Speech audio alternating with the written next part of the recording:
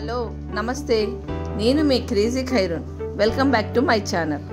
ఈరోజు నేను జిలేబీ చేయబోతున్నాను. దానికి కావాల్సిన ఇంగ్రీడియంట్స్ మైదా షుగర్ వంట సోడా ఉప్పు పెరుగు బొంబాయి రవ్వ. ఇది food colour jalebi colour. Deep ఫ్రైకి సరిపడినంత ఆయిల్. ఇప్పుడు నేను ఒక గిన్నె తీసుకున్నాను. దాంట్లో వన్ కప్ మైదా వేస్తున్నాను. దాంట్లో వన్ స్పూన్ బొంబాయి రవ్వ వేస్తున్నాను. ఎందుకంటే జిలేబీలు క్రిస్పీగా రావడానికి. చిటికెడు సాల్ట్. పావు టీ స్పూన్ వంట సోడా.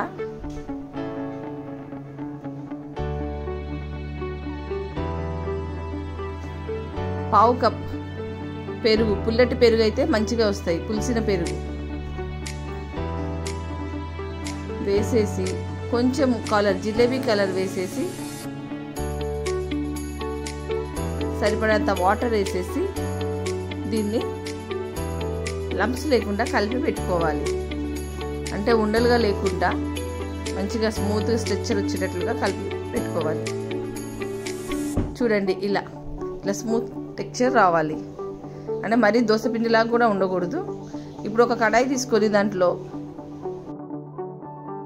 ఒకటిన్నర కప్పు షుగర్ తీసుకోవాలి. దీంట్లో three by fourth cup water తీసుకోవాలి.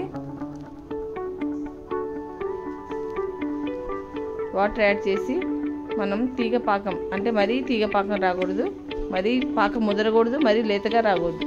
కొంచెం స్టిక్కీ అయితే చాలు అంటే కొంచెం బంక బంకగా రావాలి.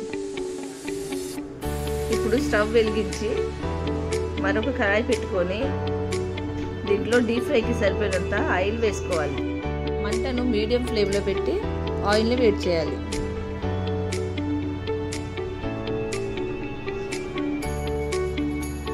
ఇప్పుడు మనం ప్రిపేర్ చేసుకున్న ఆ మిశ్రమాన్ని ఇలాగా ప్లాస్టిక్ డబ్బాలు వేసేసుకొని అంటే వాటర్ బాటిల్ కానీ అట్లా వేసేసుకొని ఇక్కడ హోల్డ్ చేసుకోవాలి మూతకి.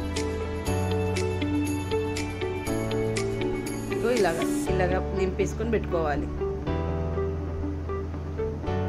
ఇప్పుడు బాగా కాగిన ఆయిల్ని మీడియం ఫ్లేమ్లో పెట్టేసుకొని ఇప్పుడు దాంట్లోకి జిలేబీ షేప్ వేసుకోవాలి.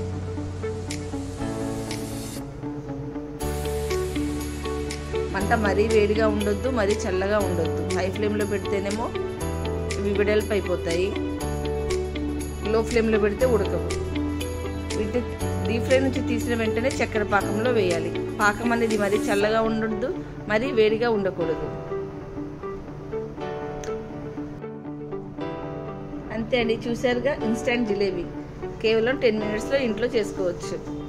ఈ వీడియో కనుక మీకు నచ్చినట్లే లైక్ చేయండి షేర్ చేయండి సబ్స్క్రైబ్ చేయండి.